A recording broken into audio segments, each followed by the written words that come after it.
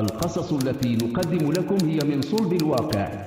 تعمدنا تغيير أسماء الأشخاص وأحيانا الأماكن وإذا ما وقع تشابه أو تطابق في الأسماء أو الوقائع فإنه من باب الصدفة ليس إلا.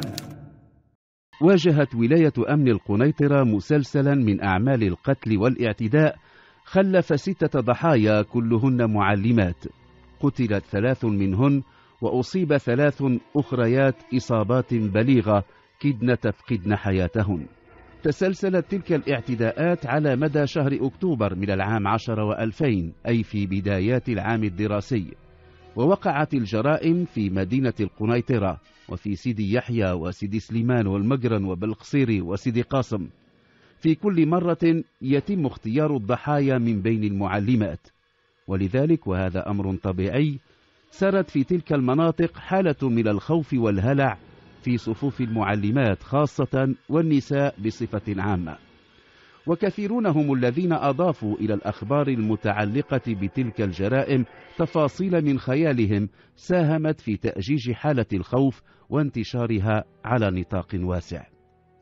الثالث عشر من أكتوبر من العام عشر وألفين كان يوم أربعاء. في ذلك اليوم لم تلتحق المعلمة فاطمة الدرابي بمدرستها. كانت معلمة شابة في ربيعها الخامس والعشرين. تنحدر من تازة وقد تم تعيينها قبل عامين في مدرسة سوق الاثنين بالقنيطرة. كانت تسكن وحيدة منزلا في حي ديور صنياك صباح ذلك الثالث عشر من أكتوبر من العام عشر وألفين عثر على المعلمة فاطمة الدرابي مقتولة في منزلها. كان جسمها النحيف يحمل آثار طعنات متعددة على مستوى الصدر والرقبة. التحريات التي قامت بها مصالح الشرطة القضائية مكنت من استقاء شهادات يستفاد منها أن المعلمة فاطمة شهدت للمرة الأخيرة مساء الثلاثاء التاسع من أكتوبر وهي تتحدث في باب المدرسة إلى امرأة كانت تتوسل إليها أن تساعدها. قال الشهود إن تلك المرأة التي لم تكن من نساء الحي قالت إن زوجها طردها من البيت بعدما ضربها وإنها لا عائلة لها في القنيطرة وهي بحاجة إلى من يأويها حتى تتدبر أمرها. رقت المعلمة لحال المرأة وقد عاينت آثار الضرب على أطرافها ووافقت أن تأويها. فكرت أن المرأة ستؤنسها في وحدتها وستساعدها في أشغال البيت. كذلك فكرت.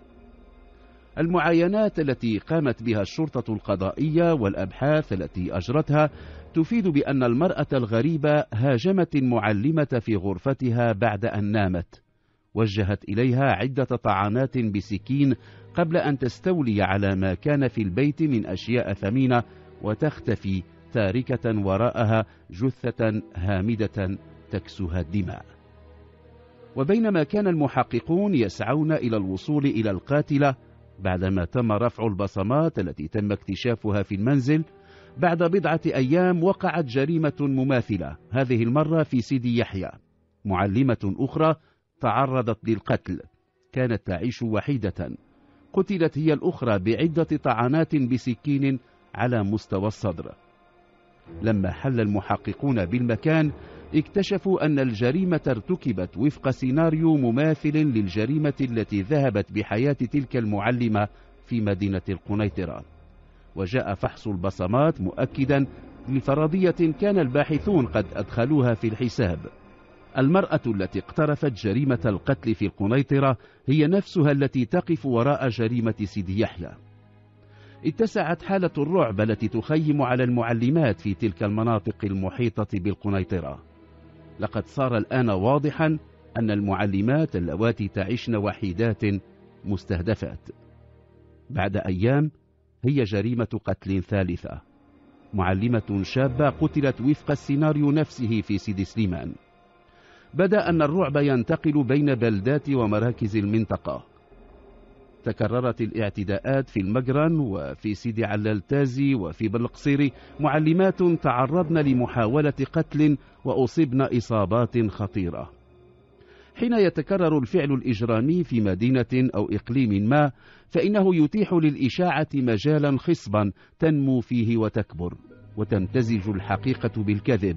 وتكون النتيجة أن الساكنة تدخل دوامة من الخوف والرعب لن تهدأ إلا بكشف المجرم أو المجرمين ووضع حد لتحركاتهم. في مناخ مشحون بالتوتر والرعب استنفر والي أمن القنيطرة كل الطاقات البشرية والمادية المتوفرة لدى مصالحه بغرض العثور على المجرمة وعلى شركائها المحتملين. الرهان صعب. يتعين الآن إعادة الثقة إلى المواطنين وطمأنتهم. كان قطاع التعليم في إقليم القنيطرة قد تأثر بشكل ملحوظ وقد قرر والي الأمن بالقنيطرة خطة تعتمد السعي إلى نصب فخ تقع فيه المجرمة ومن معها كان يتعين وضع الشباك حول كل المدارس التي يفترض أن تكون هدفا قادما.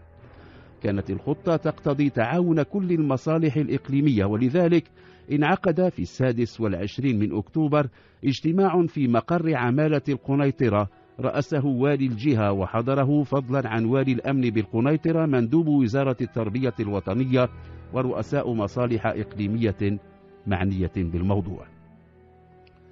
في ظل ما حدث وفي ظل هذا الرعب المهيمن على المنطقة وعلى رجال ونساء التعليم خاصة كان طبيعيا أن يخيم على الاجتماع جو فيه الكثير من الحزم والعزم على الوصول إلى الجنة. قضت الخطة التي تقدم بها والي الأمن أن يتم زرع عدد من مفتشات الشرطة في عدد من المدارس التي يمكن أن تكون هدفا. في اختيار تلك الشرطيات تمت مراعاة أوصاف تلتقي عندها تلك المعلمات اللواتي تعرضن للقتل والاعتداء. كن عازبات أو مطلقات تعشن وحيدات في مساكنهن وكن ذوات قامات تميل إلى القصر ونحيفات. تم إخبار المرشدين التربويين في المدارس التي شملتها الخطة وتم تنبيههم إلى عدم التدخل في مهمة تلك الشرطيات اللواتي تتقمصن دور المعلمات. مر أسبوعان على الشروع في تنفيذ الخطة الأمنية دون أن يتم الوصول إلى نتيجة. كان التوتر يزداد حدة في أوساط رجال الأمن. وكانت الشائعات كالنار في الهشيم تضخم الإحساس بالرعب الذي يعم أوساط نساء التعليم. وذات مساء بينما كانت مفتشة شرطة تغادر المدرسة التي زرعت بها في سيدي قاسم متأبطة حقيبتها اعترضت سبيلها امرأة. كان يبدو من ثيابها الرثة ومن أسارير وجهها المشدودة أنها تواجه مشاكل كبرى. كانت مصالح الأمن قد اتخذت كل الاحتياطات وكانت ترجح أن يقع الاعتداء الجديد في سيدي قاسم. تم تزويد المفتشات والضابطات اللواتي انتدبن للمهمة الصعبة بأجهزة اتصال لاسلكية. كما تم نصب مراكز للاتصال السريع في أحياء المدينة. كانت مراكز اتصال متنقلة على متن سيارات مموهة. وكانت المفتشات والضابطات قد تلقين تعليمات في جملتها ألا تتسرعن في اصطحاب المرأة التي ستطلب استضافتها إلى منزلهن. كان على الواحدة منهن أن تتوجه إلى أقرب سوق بدعوى شراء ما سيقدم في وجبة العشاء.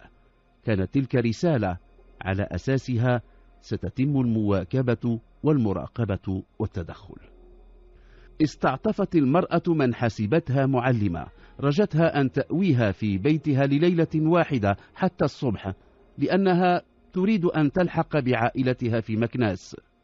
تظاهرت المفتشة بالتردد ثم بعد أن أظهرت تأثرا بما تقوله المرأة وافقت على أن تستضيفها لليلة واحدة.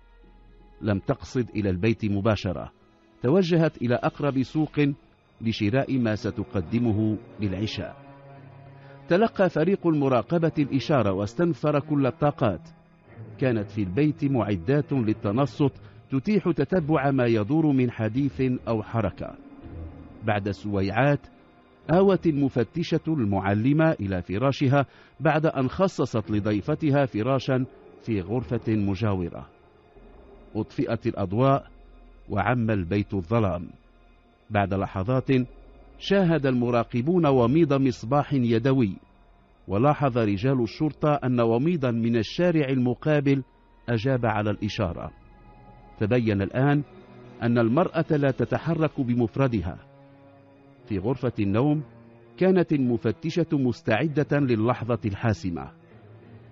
اقتحمت المرأة الباب وفي يدها سكين كبير وبسرعة تصدت لها مفتشة الشرطة وجردتها من سلاحها. ألقت بها أرضا وصفدتها. كممت فمها بشريط لاصق ثم أبلغت فريق المراقبة والتدخل. طلب العميد المشرف على العملية من المفتشة أن ترسل إشارة ضوئية من المصباح اليدوي الذي كان مع المرأة. جاءت من الشارع إشارة رد. من سياراتهم المموهة رأى المراقبون شابا ثلاثينيا يتوجه إلى المنزل. ولما هم باقتحام الغرفة فاجأته المفتشة ألقت به أرضا وصفدته. تذكر أحد المراقبين ذاك الشاب الذي كان يقتفي أثر المفتشة والمرأة الغريبة منذ أن التقيا. سيق المجرمان إلى مفوضية الشرطة حيث خضعا لبحث معمق. اعترفا بما اقترفاه من جرائم. عقد والي الأمن في القنيطرة مؤتمرا صحفيا أعلن فيه تفاصيل القبض على قاتلة المعلمات وعلى صاحبها.